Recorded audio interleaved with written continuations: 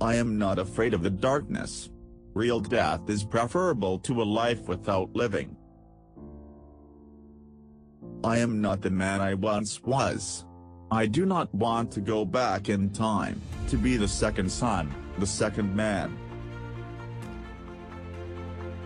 From there we sailed so far out to sea, without touching any port, that we soon had no water that we could drink. In order to eat, we had to cook in salt water. Our daily ration of water in fact was reduced to a quart loaf. It, therefore, became necessary to make for the port. Generally the women of this country are ugly and short in stature, and wear much gold jewelry around their necks, and many bracelets on their arms, and on their toes, they wear rings set with precious stones. Many, many other saints were painted on the walls of the church, wearing crowns.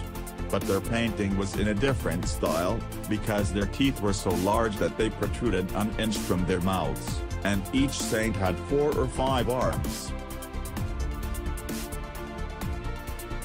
On this island, there are also birds, as big as ducks, but they cannot fly, because they do not have feathers on their wings. They are called fortilicaillos, and we killed as many of them as we liked. These birds bray like asses.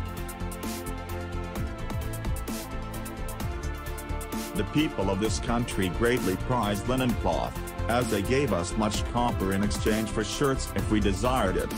These people have dried gourds in which they carry seawater to the interior, where they place it in pools, and thus obtain salt. We remained on this island for 12 days, eating much fish that the people of the mainland brought out to sell, and also many pumpkins and cucumbers. They also brought out boats loaded with green cinnamon wood, with the leaves still attached.